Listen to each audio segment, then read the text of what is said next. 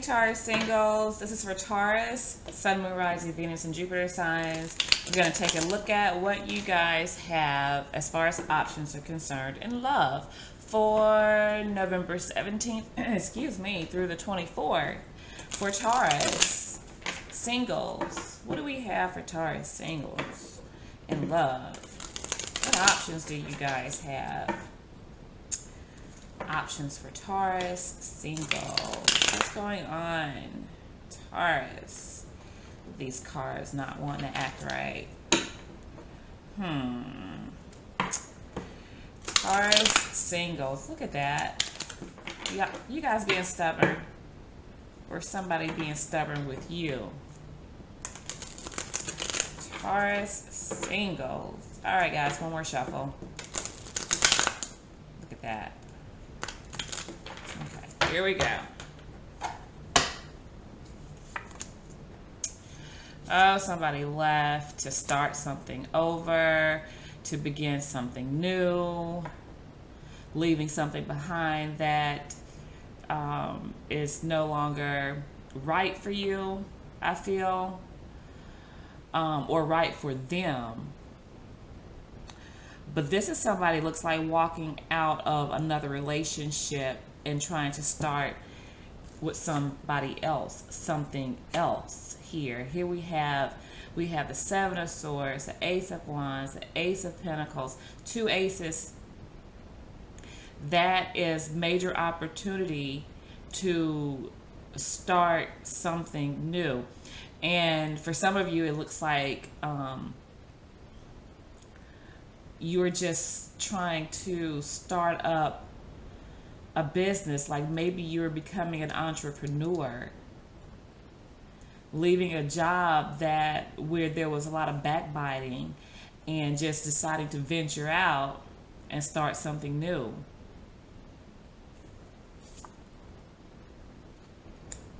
And you have the tools to do it, okay?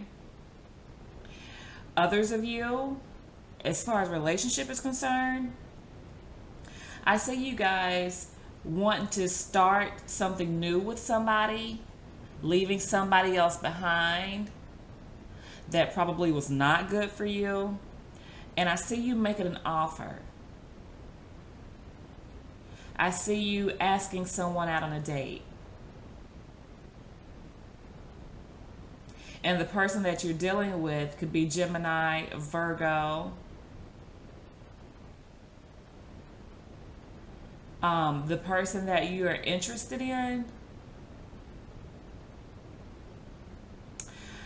I see this person being um, very friendly, very, very grounded. They, it's like they, um, they're well rounded. They are well rounded uh, for others of you, this person is an Aquarius, and I would be a little leery only because this person is leaving someone else coming towards you. So I don't know if they're the kind of person that when the going gets tough, they get going. So keep that in mind okay?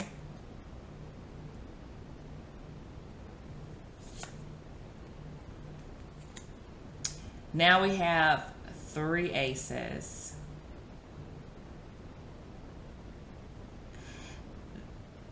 This person sees you, you know, now this, this gets a little tricky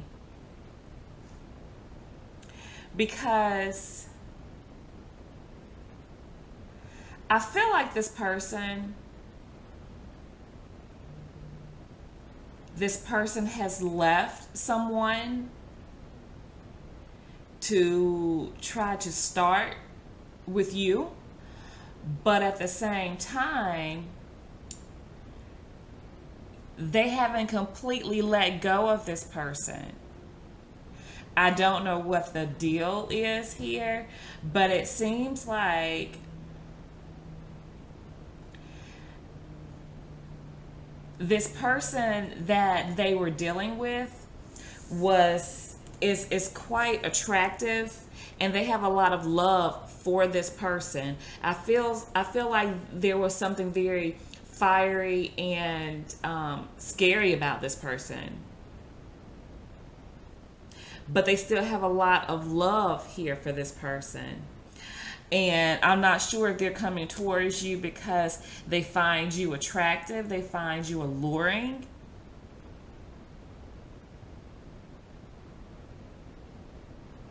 They see something um, almost, um, what do you call it?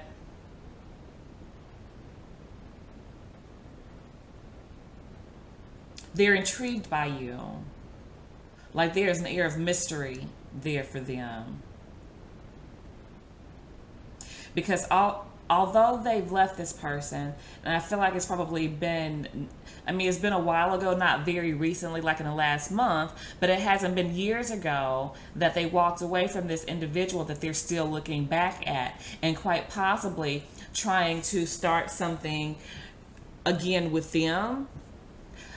But at the same time, using coming towards you as insurance in case this person does not take them back you see here, there is a juggling going on. So be very, very careful here. There's juggling going on. Um, I feel like, you know, they are trying to have insurance. Like they're really, they're really hoping to build with this person, which is Aries, Leo, Sag energy.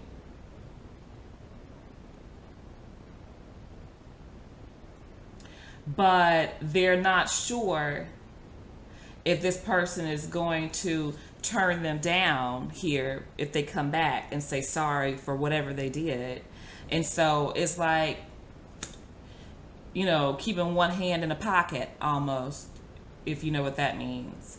Like not showing everything here. There's Aquarius, um, there's Gemini, Virgo energy, um, Capricorn here. Okay, so be leery of that, guys, I would say. All right, so that's what your option is for the week of the 17th through the 24th.